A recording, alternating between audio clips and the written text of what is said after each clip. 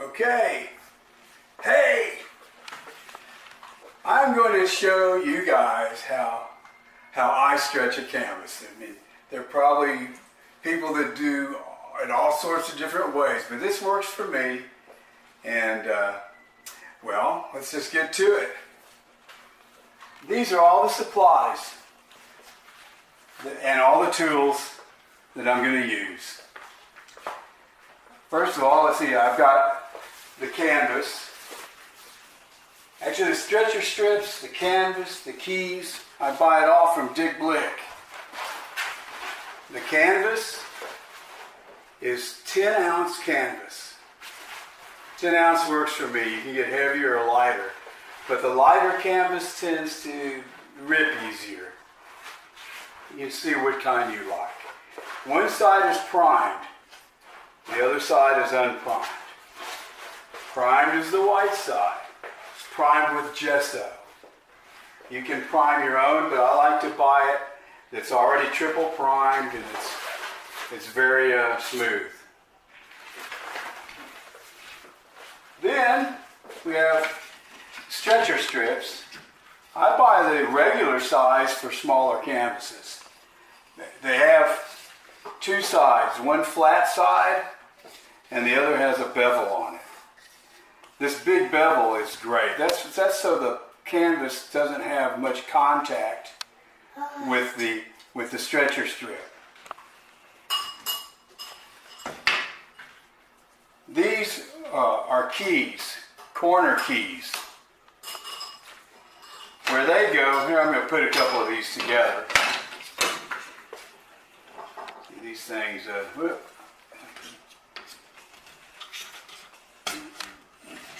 These are cut to fit together. And the corner keys go in like that. And you'll see what they're for later. They sell these separately. Now, I'm going to get my face a little bit too. Now, often, uh, sometimes they'll include them with the stretcher strips, but often you have to buy them yourself. Okay, then you got a hammer,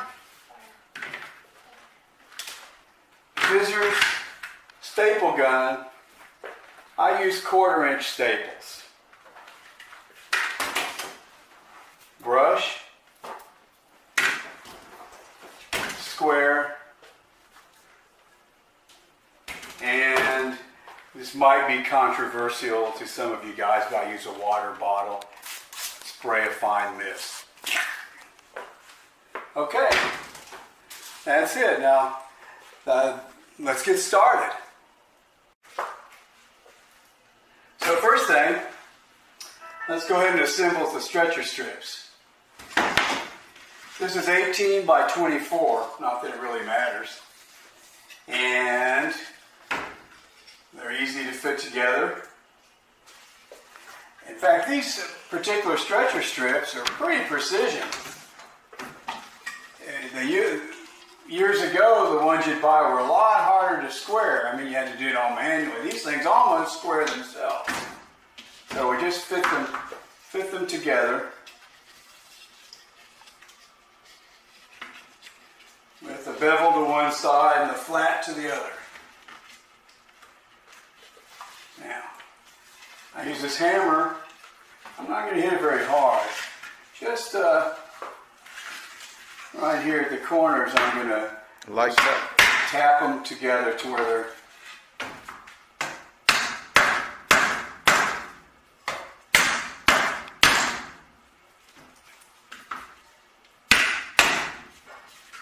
where they come together flush here. There's a little little slot here, and I'm lining that there. When they come together, right here, that's that's pretty much means it's square.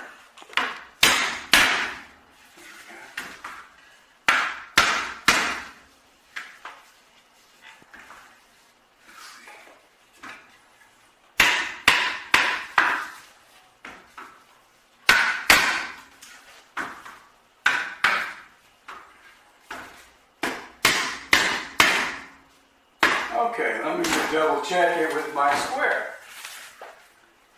And look at that. Look at that.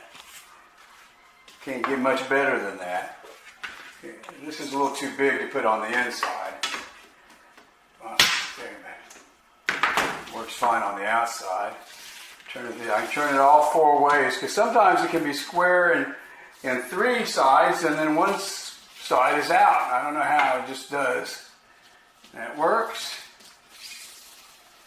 And there, I really like these stretcher strips. Let's say they're precision. Okay. That's that. Next is we have to cut the canvas.